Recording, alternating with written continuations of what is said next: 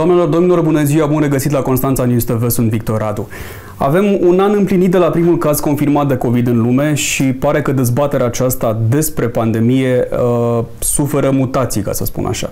Uh, devine o uh, temă de dezbatere pentru campanie sau rămâne mai degrabă o temă de dezbatere pentru campanie, dar să știți că nu uh, rămâne singura. Și așa ar fi bine să fie. Continuăm seria emisiunilor electorale cu invitatul de astăzi, deputatul Cristina Dumitrache, deputat în funcție și candidat din partea Partidului Social Democrat pentru încă un mandat. Bună ziua, bine ați revenit! Bună ziua, mulțumesc încă o dată pentru invitație.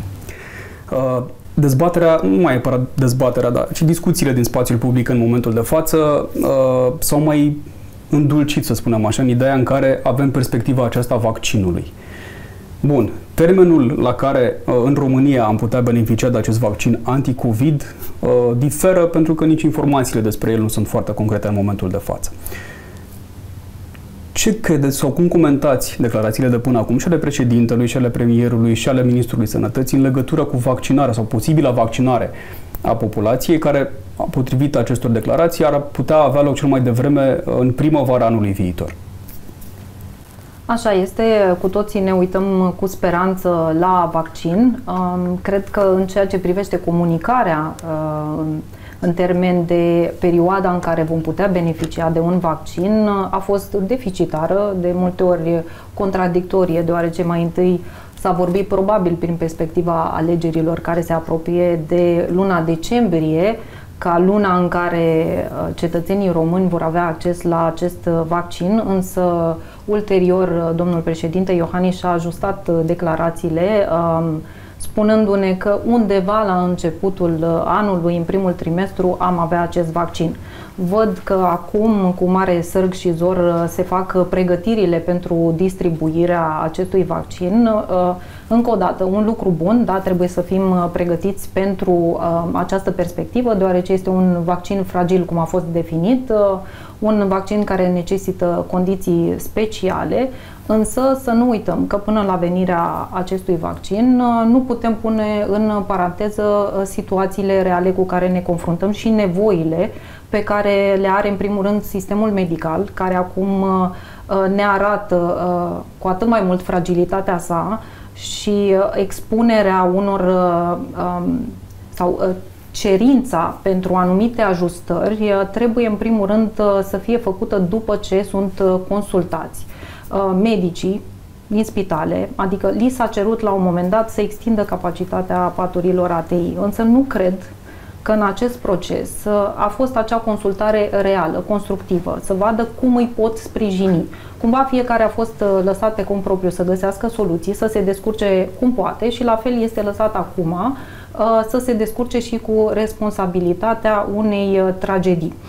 Um, am înțeles la fel ca măsură în această situație că s-au dispus controle foarte bine. Sunt binevenite și controlele, dar cred că mai presus de controle ar trebui, așa cum înțeleg că până la urmă s-a întâmplat, o discuție deschisă cu specialiștii pentru a-i sprijini. Nu putem să le cerem mereu atât cadrelor medicale, sistemului, uh, cetățenilor, fără mai întâi să-i ascultăm și să găsim soluții împreună, pentru că uh, amenziile și dosarele penale uh, nu ne vor scoate din această situație în acest moment. Trebuie să venim cu lucruri concrete.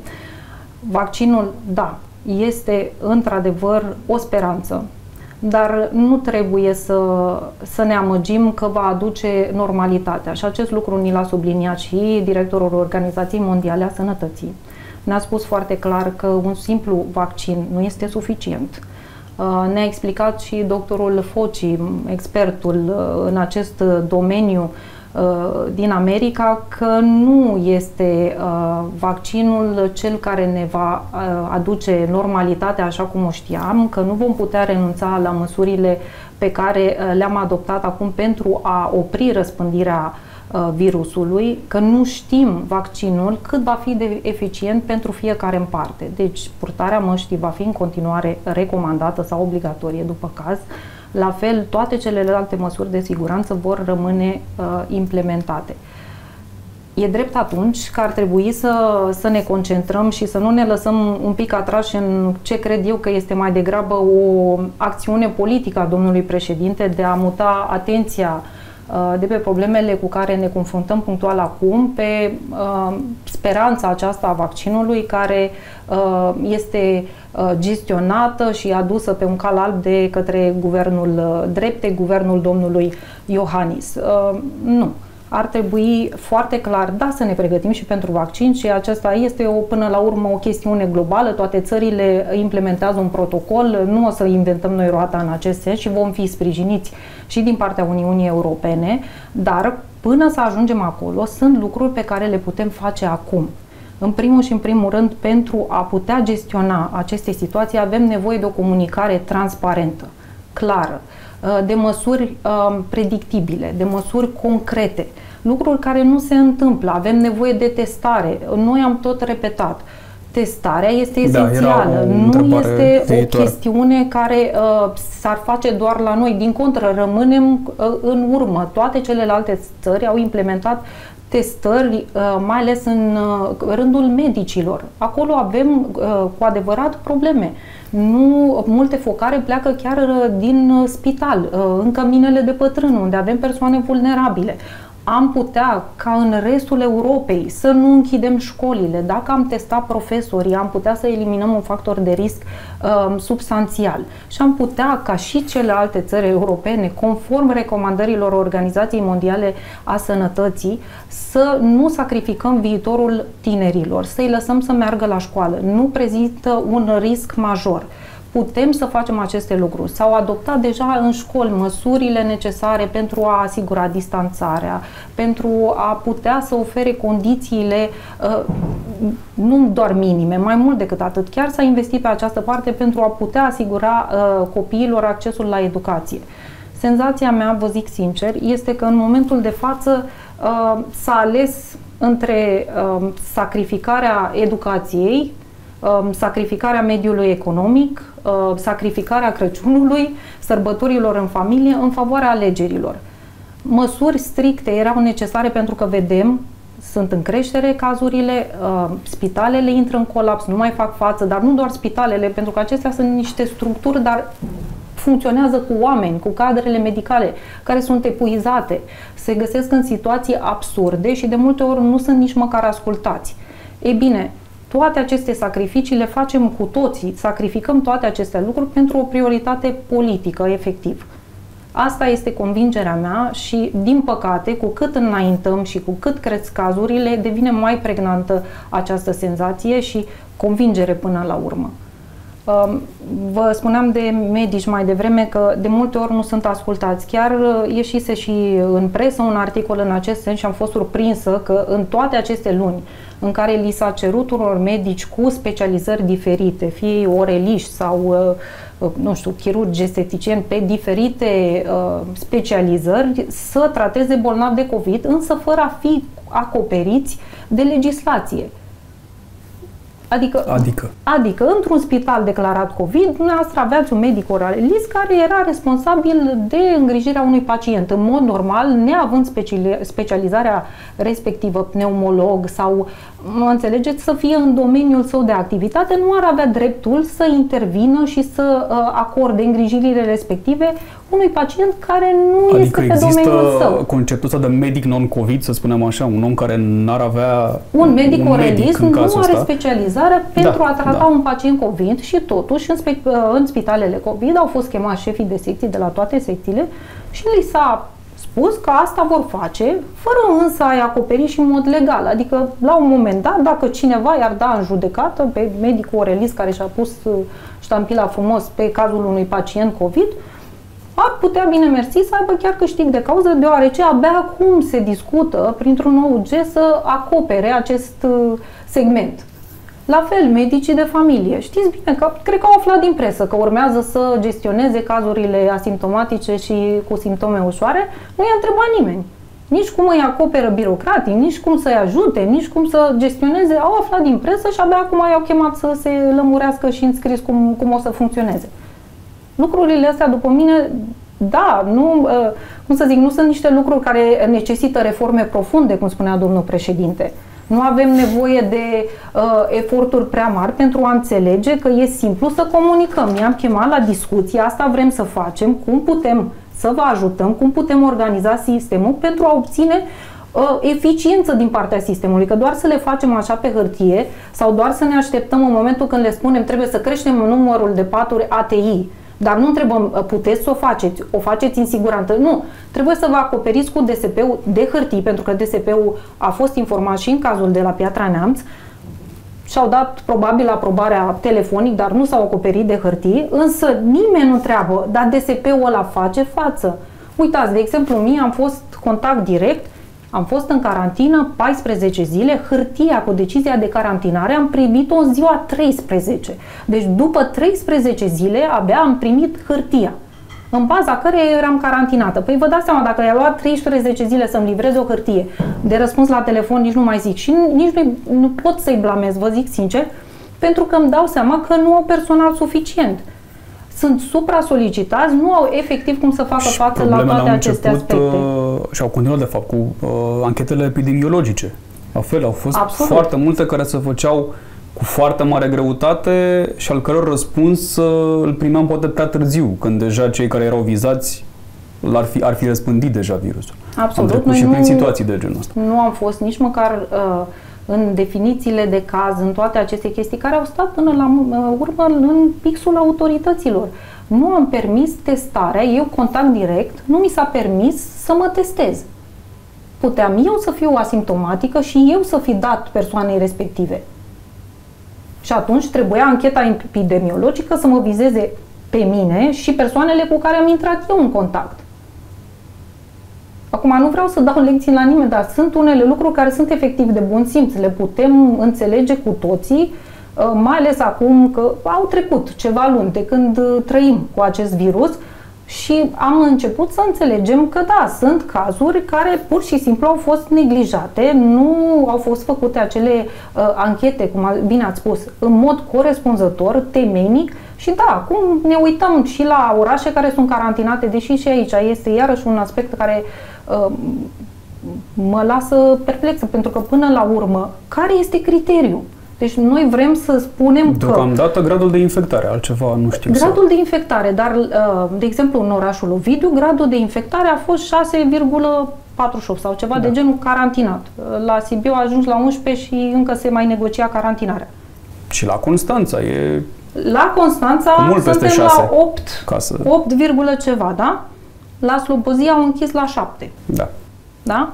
Clujul a trecut de 8 sau pe acolo, da?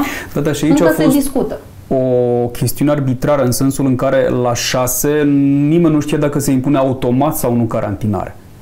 Dacă abia la 6 se lua în discuție. Unde rămân Comandamentul pentru situații de urgență local, regional, județean. Necesita o reformă profundă a întregului sistem sau trebuia să adoptăm doar un număr de măsuri clare, concrete, comunicate în mod eficient? transparent, ca să știe fiecare la ce să se aștepte și cum să se organizeze. Ne credeți că mai e timp?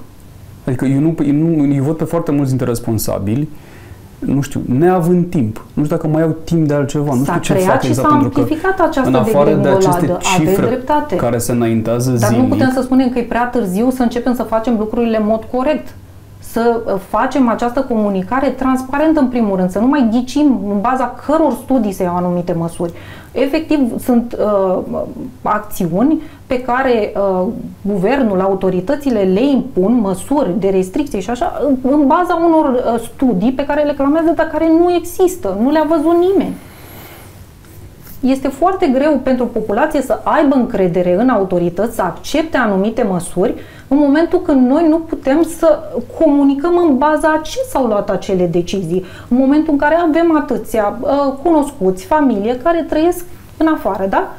Dacă acolo li se explică și ei știu de ce s-a luat o măsură sau alta, Credeți că aici nu-și dau seama că nu, nu este această uh, comunicare uh, corectă? Ne dăm seama, nu înțelegem. Da, de ce au închis piața, de ce au închis școala, când în Italia, în Belgia, în Marea Britanie, ele funcționează. Normal că ne punem întrebări. Acum, eu înțeleg că este această dorință cumva uh, de a plasa responsabilitatea. Domnul președinte insistă să plaseze toată responsabilitatea către uh, PSD. Am înțeles, deși guvernul dumnealui este în funcție de un an și nu este un guvern interimar. Noi am votat un guvern cu puteri de pline, care de altfel conduce uh, și în stări de urgență, când nu i s-a limitat în niciun fel puterea, uh, prin multe OUG-uri la foc automat, este un guvern cu puteri de pline și nu are nicio scuză pentru numărul de măsuri pe care avea mână liberă să le adopte. A avut susținere, chiar dacă Partidul Social Democrat a fost criticat de multe ori că nu s-a opus mai vehement unor măsuri.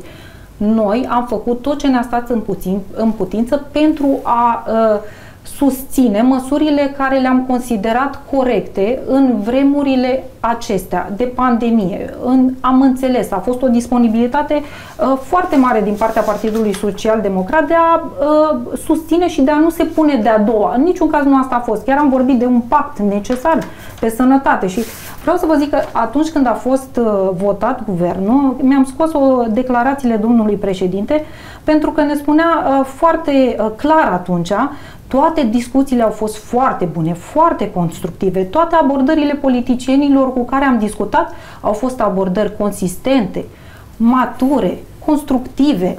Toată lumea a înțeles că suntem într-o situație foarte specială, într-o situație de criză în care nu, a, nu este loc de răfăiri politice. Totuși ne cere să facem campanie. Normal că în campanie nu mai putem să le băgăm sub preș.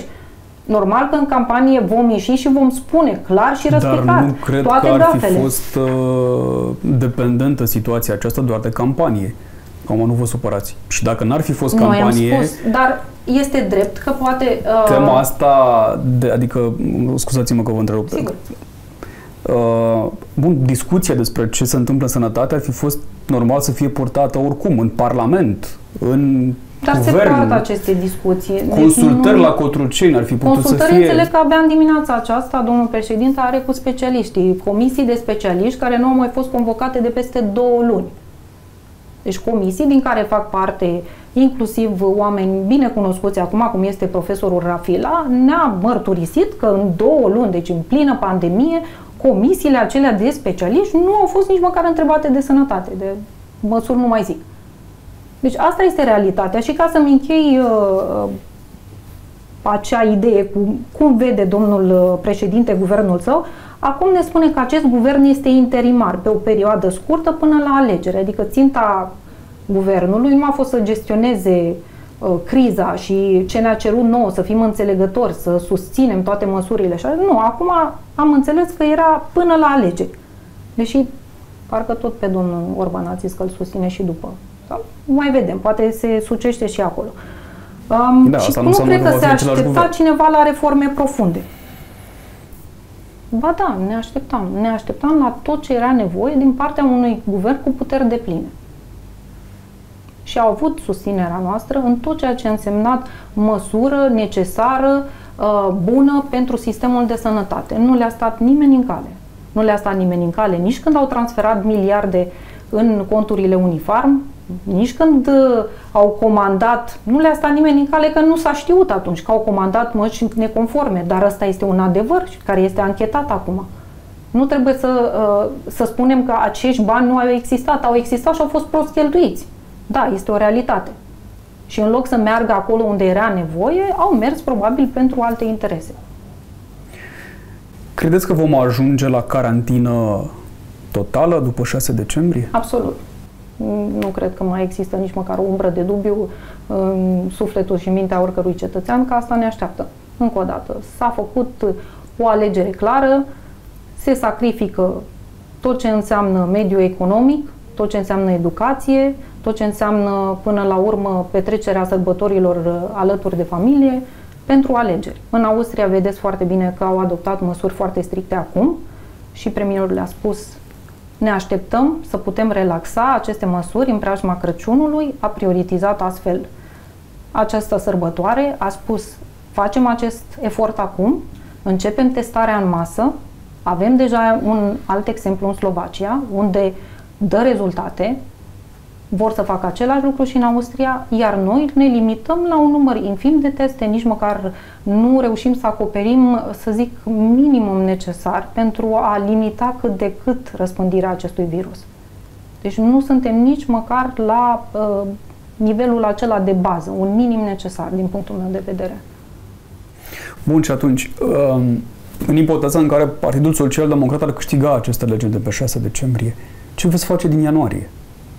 Sau ce se poate face din ianuarie? Vom face nu din ianuarie, din decembrie.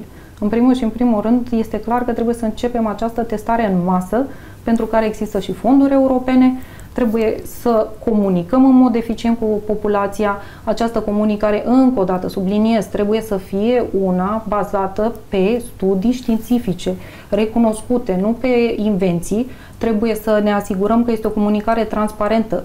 Se pierde încrederea populației, dacă nu s-a pierdut deja. Este extrem de importantă încrederea populației în mesajele autorităților, în măsurile luate de către autorități, pentru că în mod sincer, pandemia aceasta nu se încheie nici în decembrie, nici în ianuarie și nici cu venirea vaccinului. Deci toate măsurile care vor fi adoptate trebuie să obțină cooperarea populației, pentru că vor fi pe termen lung. Ele trebuie gestionate într-un mod uh, eficient și fiind uh, aspecte fragile în toată această comunicare trebuie făcută cu foarte mare grijă și cu foarte mare transparență, iar toate măsurile trebuie să aibă și un grad de predictibilitate. Pentru mediul economic, um, cred că a fost lovitura poate uh, mai dură decât pierderile în sine. Faptul că nu au știut pe ce se pot baza.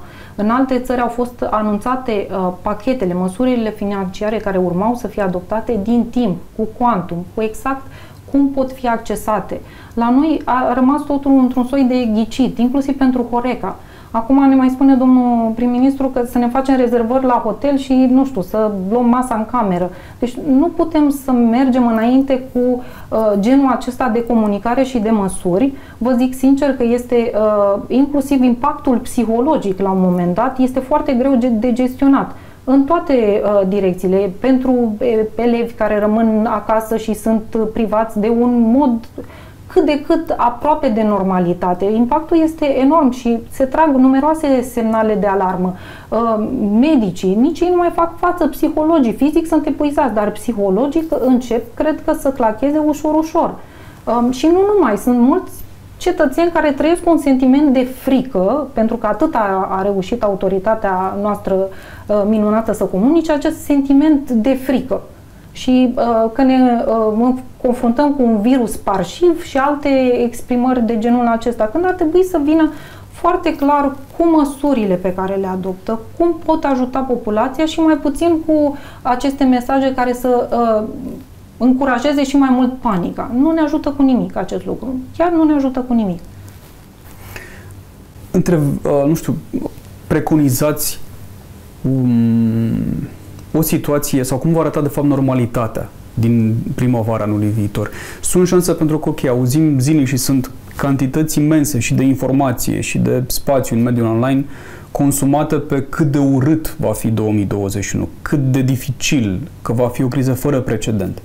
Și e foarte important ca primul trimestru, cred că e opinie unanimă, din 2021, uh, să beneficieze de măsuri urgente de sprijin și în domeniul economic și în domeniul sanitar mai cu seamă. Există șanse, nu știu, să ajungem Uh, și colegii dumneavoastră care au fost de asemenea invitați în emisiune spuneau că cel puțin economic am putea ajunge la o creștere economică similară celui, celei din 2019, ultimul an înainte de uh, declanșarea pandemiei, undeva pe la jumătatea lui 2021. Și atenție, aia înseamnă undeva pe linia de plutire. Um, cred că este greu să estimăm exact ce va fi în 2021. Cu siguranță trebuie să pregătim un pachet de măsuri care să vină în sprijinul domeniilor cele mai uh, afectate până la urmă. Uh, viața noastră nu va reveni, cum vă spuneam, la normalitatea pe care o știam uh, înainte, nici din punct de vedere economic. Eforturile în acest sens trebuie să fie unele susținute. Uh, Până în prezent înțeleg că uh, toate împrumuturile care au fost făcute, deși depășesc uh, cifrele din ultimii 20 de ani, uh, nu s-au regăsit în măsuri concrete care să vină în susținerea mediului economic și nu numai. Um, eu chiar vă zic sincer, așteptam cu mare, mare nerăbdare să văd bugetul pe 2021. Cred că mai repede decât să văd Uh, planul de guvernare al uh, dreptei, uh, cred că ar fi fost suficient să ne arate bugetul și să vedem exact acolo ce măsuri și cum vor fi implementate până la urmă, în ce domenii, unde și ce va fi alocat. Partidul Social Democrat și-a prezentat deja planul de guvernare cu toate măsurile atât în domeniul economic, dar și în domeniul sănătății. Și cred că pentru a vorbi de o oarecare redresare și o revenire la normalitate, da, trebuie să plecăm de la punctul esențial din sănătate și gestionarea corectă a acestei pandemii. Și revenim la ce se face și în restul Europei, testare, testare, testare. Pentru că de aici putem să ne adaptăm și măsurile, ne putem gestiona, putem limita răspândirea virusului și atunci putem zice că revenim la un oarecare control al situației, pentru că acum este clar am pierdut uh, controlul. Bun. Pentru viitorul mandat de deputat, ce vă propuneți? Vă uh, întreb în ideea în care uh, și în uh, emisiunea precedentă în care ne-am uh, întâlnit ultima dată, uh, ne-ați precizat că ați fost uh, inițiatoare sau cosemnatară după caz la aproape 70 de proiecte legislative. Ce își propune Cristina Dumitrache pentru următorul ciclu legislativ?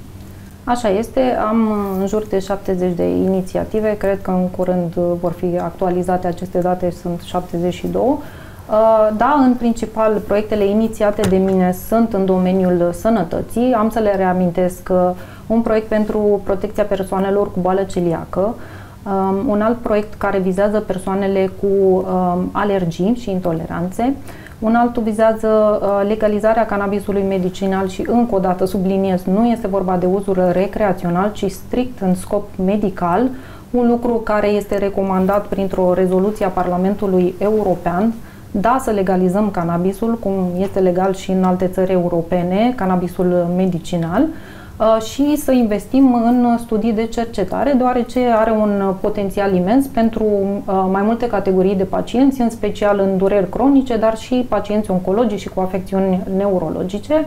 Un alt proiect la care sunt cu inițiatoare este cel cu screening-ul, deci decontarea analizelor de screening pentru diverse afecțiuni, nu limitat uh, doar la afecțiunile oncologice, deoarece prevenția este clar cea mai importantă și în momentul de față deținem, din păcate, un record negativ la mortalitatea cauzată de cancer.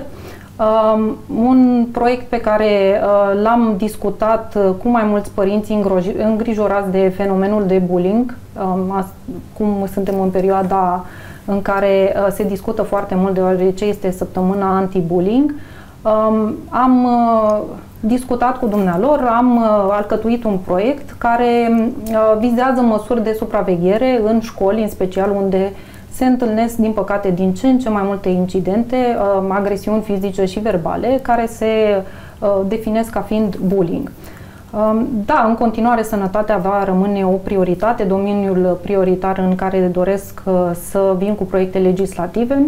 Acum, um, aș, dacă ar fi să pun pe primul loc uh, un segment, este cel al persoanelor cu afecțiuni din spectrul autist. Um, se um, discută foarte mult aici, sunt foarte multe asociații, însă cred că ar beneficia de un cadru legislativ uh, special dedicat și cu măsuri care să poată veni în întâmpinarea părinților uh, atât a părinților care au copii uh, cu afecțiuni din spectrul autist, dar și când aceștia devin adulți, pentru a putea să îi sprijinim sau uh, să îi ajutăm cu diversele terapii pentru a putea să integrăm în societate. Presupun că ați urmărit evenimentele de la Pietra Neamț. Acum, Mare tristețe, da. Păstrând uh, minima decență și a, a situației, cred că în măsura în care se, și, se, se impune cu siguranță. Uh, vi se pare îndreptățită totuși comparația aceasta cu colectiv? E un moment cheie pentru că, iată, avem statistica aceasta odată la 5 ani, cel puțin în ultimii 15, nu? Uh, când României este dat să trăiască un astfel de moment. N-am învățat nici, la, uh, nici de la Giulești, n-am învățat nici de la colectiv. Lucrurile parcă că se repetă ciclic. Nu aș face comparații. Cred că ce s-a întâmplat la Pietra Neamț este o tragedie care nu poate fi cuprinsă în cuvinte uh, și cu siguranță nu, nu aș compara. Uh, înțeleg din ce informații au apărut în ultima vreme că au fost inclusiv închise acele saloane, că că presiunea la care sunt supuși și sunt convinsă că nu doar în spitalul din uh, Piatra Neamț, uh, cadrele medicale, sunt supuse cadrele medicale pentru a asigura mai multe locuri la ATI, fără însă a avea resursele pentru a face acest lucru, uh, este una enormă. Cred că a fost o dorință clară de a ajuta, însă nu au fost sprijiniți și s-au descurcat cumva cum au putut în acea situație. Cred că există anumite protocoale pe care nu am să le înțeleg, printre care cred că și această uh, chestiune cu închisul pacienților în, uh, în saloane, care înțeleg că nu este unicat, uh, cum tot protocoale de la minister pleacă legat de mamele care nasc și nu pot rămâne cu bebelușii în, în salon, sunt despărțiți. Acestea sunt măsuri care au venit către spitale, nu care au plecat de la spital, că așa ar fi bine. Um, nu am cuvinte pentru ce s-a întâmplat acolo. Cred că, da, trebuie uh, să fie făcută o anchetă detaliată, corectă, care să găsească răspunzătorii. Um, din păcate, sau cel puțin din punctul meu de vedere, era cel puțin de bun simț, uh, atât moral, dar și politic, ca domnul ministru Tătaru uh, să își dea demisia. Uh, nu cred că aici exista o semne de întrebare. Um, cum uh, domnul președinte ne explica că exprimarea domnului ministru nu a fost una suficient de bine rumegată, cred că nici decizia de a nu-și da demisia nu a fost suficient de bine rumegată. Pentru că ne apropiem de final, vreau să profit de aceste ultime minute și uh, vreau să le transmiteți ceva, pentru că știm că toți suntem distanțați social, avem din ce în ce mai puține întâlniri în această perioadă, totuși campania electorală, în campania electorală contează foarte mult și contactul cu oamenii, indiferent de ce natură va fi, va fi el în perioada aceasta. Uh, ce le transmiteți în vederea acestor alegeri de pe 6 decembrie uh, constanțenilor și nu numai?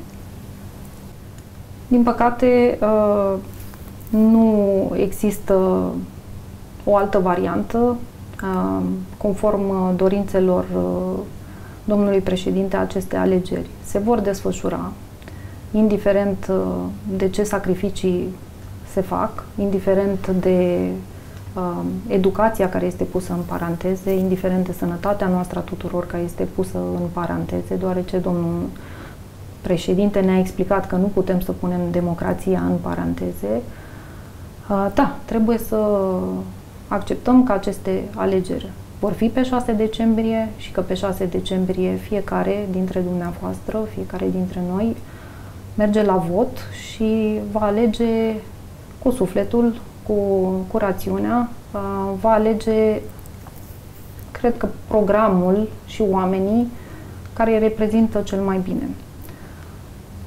Luați toate măsurile de siguranță, Uh, păstrați distanțarea fizică, uh, purtați mască, păstrați toate măsurile de igienă pentru a putea merge la vot în siguranță. Este ultima, să spunem, pentru o perioadă lungă de timp, uh, ultimul scrutin la care suntem chemați pe 6 decembrie, după care vor urma patru ani, patru ani care nu vor fi așa cum au fost alți ani înainte, cu siguranță, Pandemia aceasta ne afectează pe toți, ne va afecta în continuare și avem nevoie de oameni competenți care să comunice în mod corect, transparent, eficient și să vină și cu măsurile necesare pentru a gestiona această situație de criză. Pe 6 decembrie mergeți să votați, în primul rând, pentru viața și sănătatea dumneavoastră. Mulțumesc! Doamna Dumitrache, vă mulțumim și noi pentru prezență. Mult succes în campanie. Doamnelor, domnilor, vă mulțumesc și dumneavoastră pentru atenție. Să ne revedem sănătoși!